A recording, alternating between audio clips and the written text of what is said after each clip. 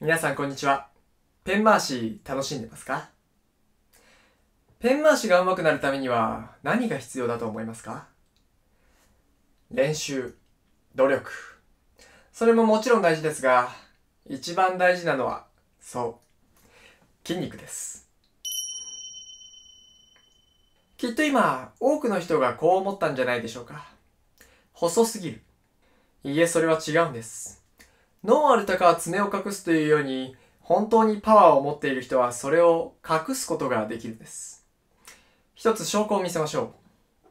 この、マッキー。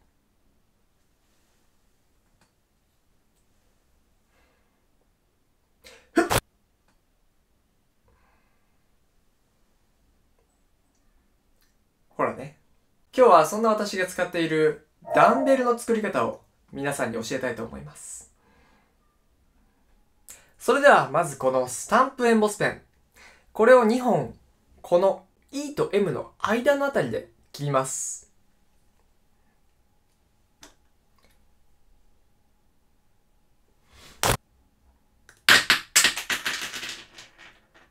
こんな感じです。そしたら次はこのラッションペンのボディの一部を使いましょう。そうですね、だいたい3センチぐらいあれば大丈夫です。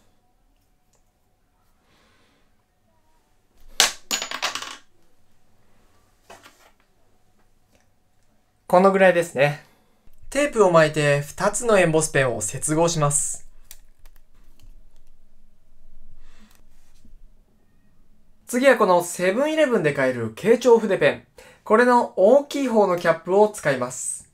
まずは、この上の部分を叩いて筒にしましょう。さらにこれを半分に切ります。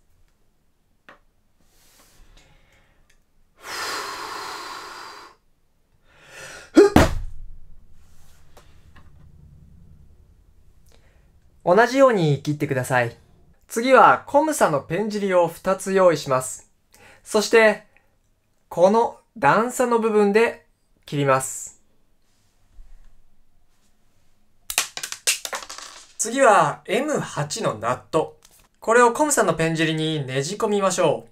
こんな感じ。あとは塩ビパイプ。これを好きな長さに切っていく。あとはテープで厚みを調整して合体させるだけです。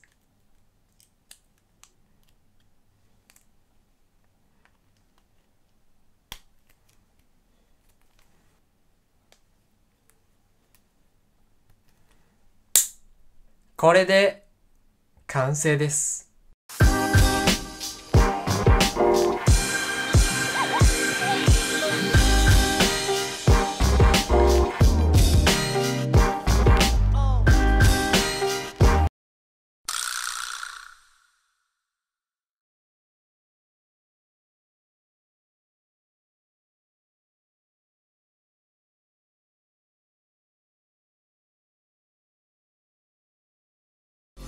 K プロデュースのペンマス専用ペンが登場。解説本も販売中です。詳しくは概要欄をチェック。